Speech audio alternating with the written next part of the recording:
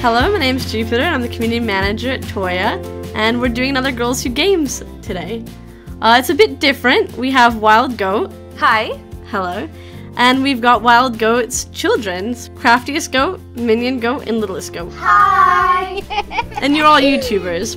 Cool. Yes. So I'm just gonna get right into questions. Uh, what games do you all like to play? Uh, Minecraft is like our top favorite. By far top favorite. um, Roblox. We play Human Fall Flat. Animal Crossing. We have Animal Crossing. We do play Fortnite, but only for videos. Fair, fair. Smoothcade is our new favorite. smooth Smoothcade. Yes, a brand new game. It's an indie game that's just being developed. We were able to do a demo on it. So much fun. Untitled Goose. That's Untitled yeah. Goose is a favorite. That is an absolute favorite of ours.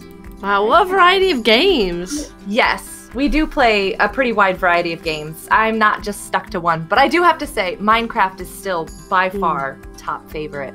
That's very cool. Uh, when did you all start playing video games? All of us or me? I guess we'd start with you. um, I don't want to do an age reveal, but um, I won't say what was my first game or anything like that. But I do remember um, when we got our computer. I was probably around eight years old. Mhm. And the kids here, um, mine, have just been exposed to computers basically their entire life because I have just always loved technology and games and playing around with things on the computer. And yeah, That's so great. I didn't have video games when I was very young, but when I was a teenager, I got into into like the whole gaming scene, and it's now something that I know. It's like some people are like, "Oh, kids shouldn't be around screens very much," but it's great to see so many like even educational games that you can get kids involved in, and just fun games and ways to interact as a family through that. Yes, that's one of my favorite things about video games is being able to play with my kids, with my Mhm. children, because it's obviously that they're going to be growing up in a very technology driven world. There's no way to get away from that. It is everywhere. So I'm just glad I'm able to embrace it and hang out with them and get to know all the things and all the fun that they're having with it as well, as well as learning new things about it that I might not have tried or learned. Because, um, yeah, I might not poke at a game the same way they do. Yeah, you never do. Little minds are so creative. Definitely. I've got two little ones here that when they start building in the Minecraft world, you just never know what's going to end up coming. And I'm like, what what made you think of this? This is an excellent way to make a toaster in Minecraft or you know, A toaster. any, any number of things that they come up with. It is so much fun. I love it. Hmm. It's definitely a big plus having so many different ideas around and having so many different creative ways to attack different projects. Uh, when I first played Minecraft with my brother, he had been playing for months before I joined, and he was showing me it was very early Minecraft days. So he was showing me like attaching trap doors to stuff so that they were just like platforms almost. Yes. And I was like, "How do you do this? Doesn't make it. It's a trap door. It's a door. It goes on the ground." And he was like, "Nah, make it a course." And I was like, "What is, what is this?" the physics of games is Hmm. always mind-boggling. It's like, where did they get the idea that water should flow that way? Because that's not how that's gonna ever work in real life. No, fixing, correcting water in Minecraft is a mess. They all, all the blocks are individually moving differently. Yes, I have one minion goat here. She can fix water flow issues. Let me tell you, she has repaired more ponds and rivers and oceans than anybody else I know. I definitely needed to come into our world and help out. this is a skill that we need. there you go. She'd be happy to drop by. She'd help you with that. What do you guys like about Roblox as a platform? One of the things that I like is the variety of games that you can have available. hmm um, that you can create your own too. I would love to get into creating games. Uh, just haven't had enough time with everything else that we're already doing to dive into that. Um, variety and creating, I think, is the two biggest things. Let me ask these guys though. What's your um, what do you like about the Roblox platform? It's probably that you can create your own character to the way you play. Ah, you can create your own character to Hmm. the way you like it. Yes. That's a very good point. I think I just really like the way that the games are made and you can just play them. There's a bunch of quests. Quests. Quests. Keeping you busy. Quests. Uh, the varieties of games, like you said, and just all the different things you can do in them and the different ways they all look. I like seeing all the varieties. Hmm, lots of different answers. I like the whole concept of quests being the favorite thing as well. Yes, they they definitely love the Mm. quests and tasks on purpose to do in the game. I Mhm. think that those are some of our favorites to do. Is you know, we're not big on role playing as much as we are on. Let's go do a quest. Let's go finish some stuff. yeah, that having an exact task and end bit to and reward most of the time as well. Yes. Um, I games. try to avoid the super super clicky clicky ones, but Mm. occasionally we do have those that sneak in. One of them is Bee Swarm. We do like that one a lot. I just played Bee Swarm at our live stream over the weekend, and there was just so many, like, so many huge people with tons of bees just making like hurricanes happen or like tornadoes. Yep, yep, that would be me. I do have a windy bee. I can make tornadoes. We've been playing that for a couple of years now, haven't we? I think, yeah. We just got the two younger ones started on it, but um, we've been helping them out and getting them caught up for Beesmas. Wonderful. So I know you play together quite often, but have you ever had like negative experiences in Roblox or issues with toxic communities, and how have you dealt with those? Do you want to start this one, Minnie? no? She's like, I don't even want to go there. yes, we have had negative experiences on Roblox. We have come across toxic communities and games as well. hmm Um, the ways that we have dealt with them is in a variety of ways. It just depends on what is available. Uh, for now, we have chat off basically the entire time we're in a public game Mm. for most of us. There are some of us who have it on, but that's because the maturity level is it's different. Yeah. Um, but in order to prevent some of those things to get through, um, chat is off unless they're in a private server, so it's friends only, and you can pretty much trust that you know things are going to be they're okay in friends, there. um, when it comes to toxic games or communities, I have, when streaming, I've had lots of issues with um, exploiters coming in hmm just to get attention in the streams. They also drop into the chat then as well. Um, so then there's a lot of banning and reporting. Um, I will usually shift to a smaller game, like not as many people can get into the server, or a private server. I don't prefer to do private servers because there's not a lot of protection on them. I really wish that there was a better way to kick people from your servers if you have a private server. So you don't have to worry about the exploiters coming in and totally just like annihilating all the fun that you could be having with your friends, family, or stream. Hmm. It's definitely a big issue when you have such popular, like a popular platform in the way that Roblox is, having communities and having just individuals who are so keen on ruining the experience. And it's always Yes. something that we're always looking to give advice on how to deal with it, especially as like we're obviously a female first community. We're a community of primarily women who make games and we're looking to make our community very safe and very welcoming.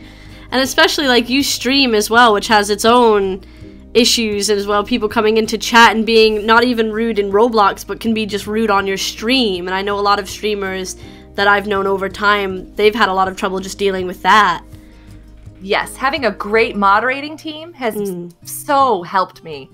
Very much, very much so. I wouldn't be anywhere without the moderating team that I have in place. So people that you can trust that are going to have your back and they're going to be able to stand up for the values that you have instated for your streaming platform and your channel. That has just that has been such a blessing Mm.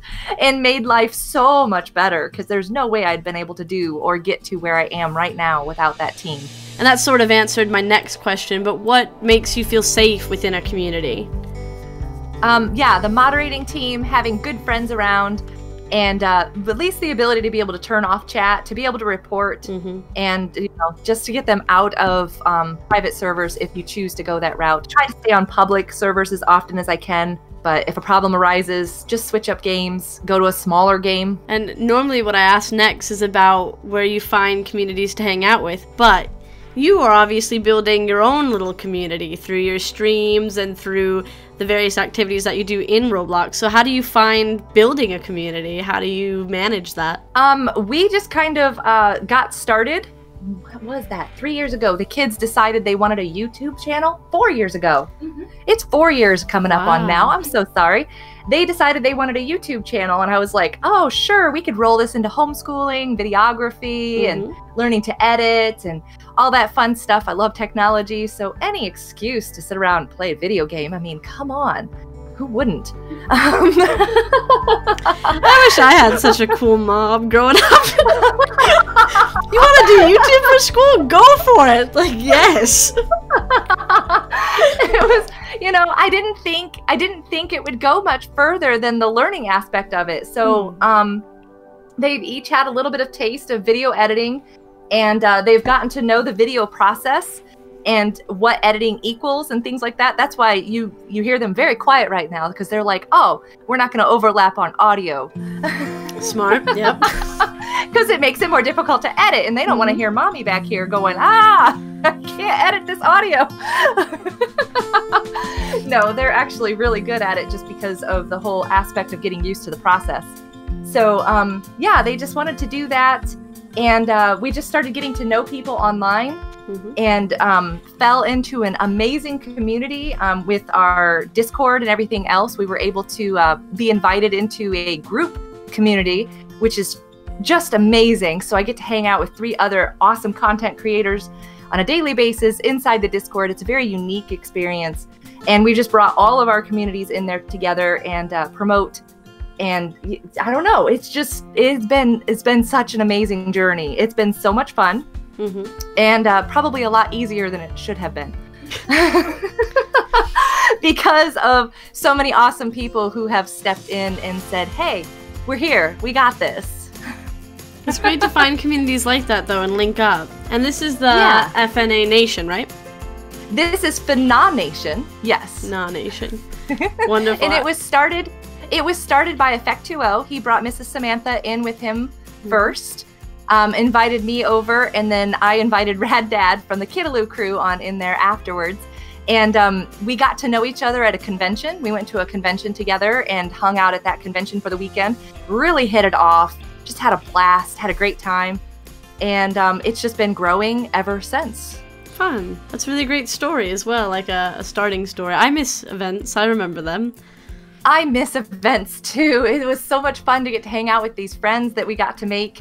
Um, they really honestly became more than just online friends. They have become in real life friends. So these are the people I like to hang out with. That's so fun though. It's so fun to have friends that have the same hobbies. And I totally get having real life friends that you met online. They're no longer online friends, you know? right. They just kind of become an extension of the family, is basically what FNA Nation is. It's just an extension of our family. Um, the kids get to hang out with everybody there. It's been really fun getting to know a lot of the other community members on there and get to know them over the years because we're going on four years and a lot of these people have been with us basically from the start Mm. right from the get go.